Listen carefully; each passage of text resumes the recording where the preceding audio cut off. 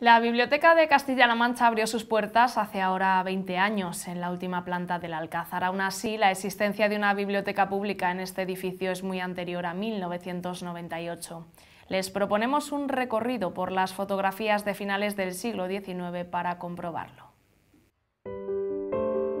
Año 1852. Este es el aspecto del Alcázar de Toledo. Y esta imagen, o esta otra, de las más antiguas que se conservan, las encontramos en el blog Toledo Olvidado y muestran el lamentable estado del edificio después del incendio del 31 de enero de 1810 durante la dominación francesa, porque pocos edificios toledanos han exhibido de forma tan evidente los avatares del paso del tiempo.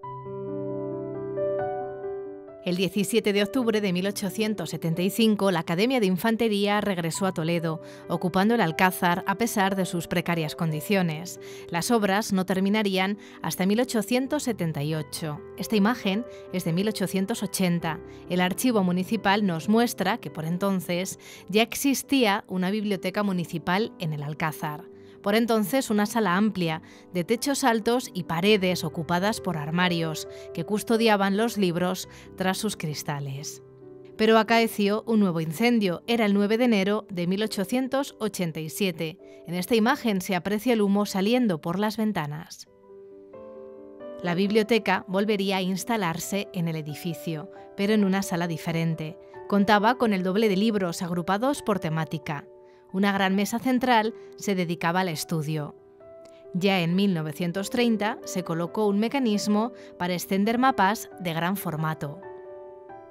Y así el paso del tiempo nos lleva hasta 1936.